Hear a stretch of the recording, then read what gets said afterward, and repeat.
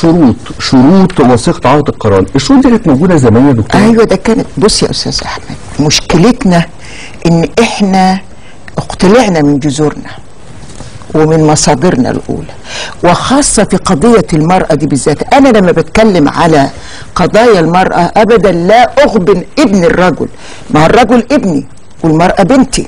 ولكن أنا بتكلم عن عدل وعدالة التشريع الإسلامي آه، لحق المرأة حتى يستقر البيت. يعني أنا يوم ما سمعت إن إحنا أك- أكتر نسبة على مستوى العالم اللي عندنا نسبة الطلاق. نعم. ده لا يليق بنا. بأمة ذات دين وذات عقيدة وذات حضارة وذات آه، ثقافة وقيم وعادات. آه إن إحنا نصل إلى هذا المس- ليه؟ أولا أن الرجل أخذ من النص وأساء تطبيقه. في قضية التعدد وأساء التطبيق. آه التعدد شريعة إسلامية. لها ضوابطها ولها أصولها ولها عدالتها ولها مئة ضابط وضابط. لو الرجل تأمله هيخشى أن يقترب منه. أدي واحد. للأسف الميثاق الغليظ ده ربنا سبحانه وتعالى سماه الميت وجعلنا بينكم ميثاقا غليظا. ليه؟ حتى لا يحدث فيه هذا التلاعب اللي إحنا بنجده الآن كانت المرأة في العز أنا لازم أرجع هذه الندوة للأساتذة اللي ناقشوا فيها البرديات اللي وجدت فيها هذه الحقوق اللي أنا لما أقولها دلوقتي الناس هتندهش إن إزاي ده كان موجود عندنا. وكانها عقد يعني كانها عقد عقد، آه في آه. حقوق وواجبات ما دي البرديات تناولت مفردات العقد اللي أنا هفرد لها بعد شوية. هذه البرديات كانت في مؤتمر أنا قريت عليه في الجرايد. وشفت ال- ال- البنود. وده اللي أنا أشرت عليه لما آه، آه، أخذت اقتبست هذه البنود من هذه البرديات اللي أنا حتى أشخاصهم ما أعرفهمش اللي هي أكدت الدكتورة علي آه، حنفي مديرة مركز البرديات والنقوش على ضرورة إنشاء معاهد للبرديات. ليه؟ ودي دعوة في منتهى الكرامة والقوة العلمية. لأن أنا لما أعرف جذوري ما تهش في حاضري. فهي الحقيقة السيدة الفاضلة أتمنى أنها تكون حية ترزق آه، إنها ت- تدعو إلى الاهتمام بالبرديات وبمعهد البرديات وما وجد فيه من محتواه. ويشاركها آه. في هذا الأمر الدكتور سعيد المغاوري تمام. ندخل بقى يا دكتورة آه، في نفسها. منهم ما انتهوا إليه في هذه الندوة ده كانت ندوة أو مؤتمر. إيه هو من أهم ما ورد؟ حتى تسود الرضا النفسي في البيوت. وكان من هذه العقود ما ينص صراحة على عطاء المرأة حق تطبيق تطليق نفسها واشتراطها ألا يتزوج عليها إلا برضاها وأن يوفر لها مستوى معين من الأساس والحلي وغيرها.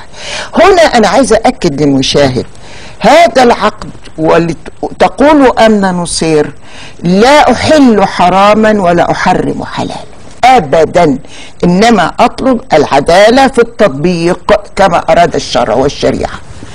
فهي من حقها إنها لما يتجوز عليها أنا يا سيدي لا أطيق تتجوز علي وأنا ظروفي تستحمل كذا وكذا. يبقى, يبقى أمري بيدي. من حقها تطلق نفسها. يعني إذا شرط من الشروط اللي ممكن تكون متواجدة في الوثيقة في الوثيقة اذا تزو... آه. اذا آه. إذا قام الزوج بالزواج آه. فليكن يكون حرية بيده. آه. يا تطلق يا تقعد آه. هي حرة. لو كان أمرها بيدها. لا تعد مطلقة. آه, يعني. آه أمرها يكون بيدها. ليه؟ بدل ما تقعد ويدخل بقى صراع الضرائب. ده بقى مش ضد التعدد. يعني ده ده مش لا هي شرط ما بترفضش. لا هو أصل التعدد مش هو القاعدة. وإن خفتم ألا تعدلوا لا يعني فكرة إن أنا لو اتجوزت على, على مراتي مراتي بقى لها حق إنها تطلق نفسها. هي حره بس أنا أنت ليك كده سيد ولا ست عليها؟ أيوه لا بس هي كده كأنها بتخالف هذا الشرط. لا مش مخ... هنا برافو. أنا. بشكرك على هذا الحوار. هي مش بتخالف. لكن هتقول لك أنا لا أطيق. طب السيده فاطمة رضي الله عنها أم أبيها لما أراد الإمام علي كرم الله وجهه أن يتزوج عليه. تكتبوا الكلام ده يا جماعة على الشاشة؟ يعني بتكتبوا الشروط دلوقتي بنتكلم عنها إن أول شرط من حق الزوج إذا قام الزوج بالزواج عليها إنها يبقى لها حق يكون التطبيق أمرها بيدها يكون حقها. وده مش مخالف للشرع بتاتا هي حرة. إذا رغبت انها تكون زوجة ثانية وثالثة ورابعة هي حرة. تمام والشرط الثاني يا دكتور؟ ده أول شرط ألا يتزوج عليها إلا برضاها أو يسترضيها. اللي يا. ستي أنا محتاج زوجة تانية تساعدك وتساعدني وكده. مفيش مانع. هنا بقى العدالة. مش العدالة إن أنا أتجوز عشان أنكل بالأولى ولا الثانية أو إن أنا أنا عشان كده قلت لك في أول جملة إن ربنا أعطى للرجل بعض الحقوق لكنه لم يحسن تطبيقها بعدل الشريعة. طب دكتور أنا لو قلبنا الآية أو عكسنا الآية وقلنا إن الزوج وضع شرط من ضمن الشروط إنه من حقه خلاص. التعدد. المؤمنون عند شروطه خلاص من- تخضع. تخضع بقى. خلاص تخضع. لا مانع هي حرة. تمام. هي آه، وفي سيدات يعني يبقوا سعداء بهذا الأمر. تمام. يبقى أول حاجة التعدد إن هو إذا اتجوز هي من حقها تتطلق. إنها- الشرط الثاني آه. وتنص عقود أخرى للزواج على ضرورة توفير الزوج للزوجة لزوجته متطلبات الزينة. شوف الرفاهية. نعم. إن هو يوفر لها الزينة من عطور وقلائد وبخور ووسائل الطرب والترفيه في حدود المباحات.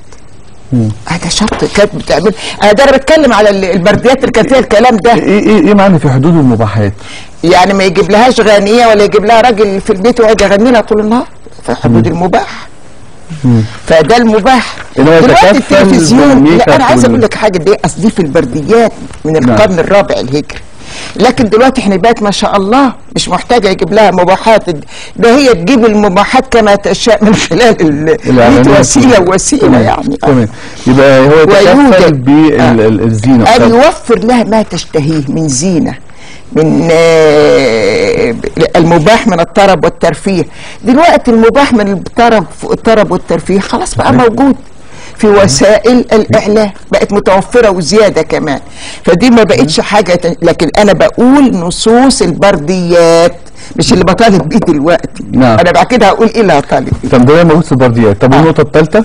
النقطة الثالثة اللي في البرديات ويوجد في نصوص البرديات العربية التي حوت معلومات قيمة عن عقود بيع وشراء وإيجار وأعمال أخرى لبعض النسوة.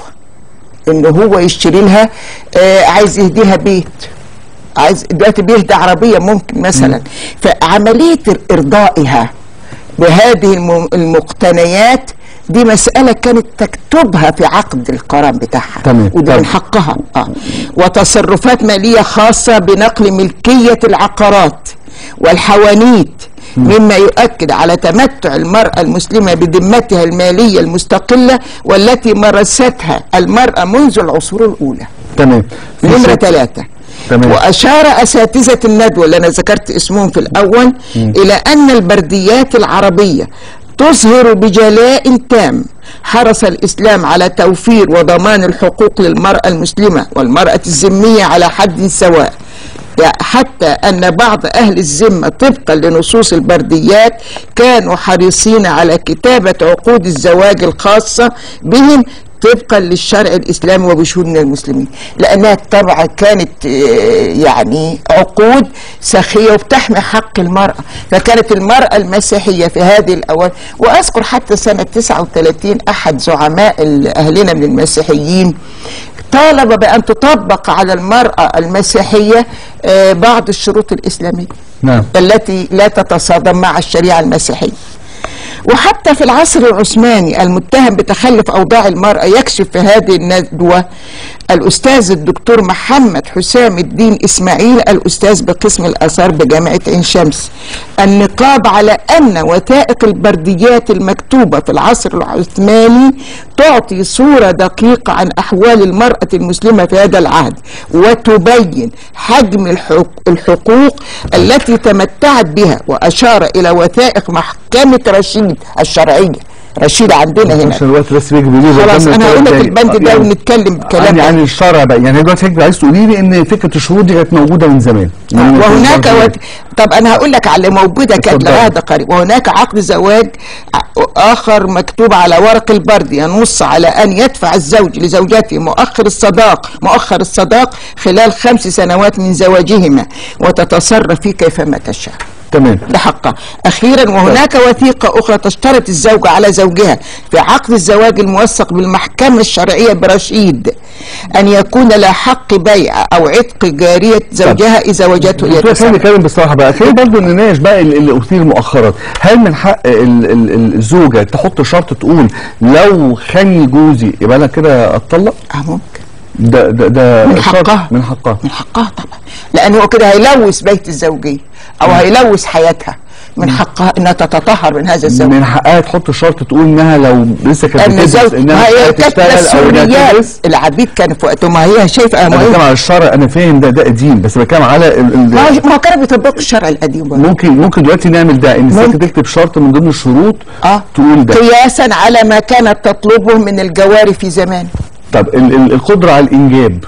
آه هل ده برضه يبقى شرط من ضمن الشروط؟ لا ده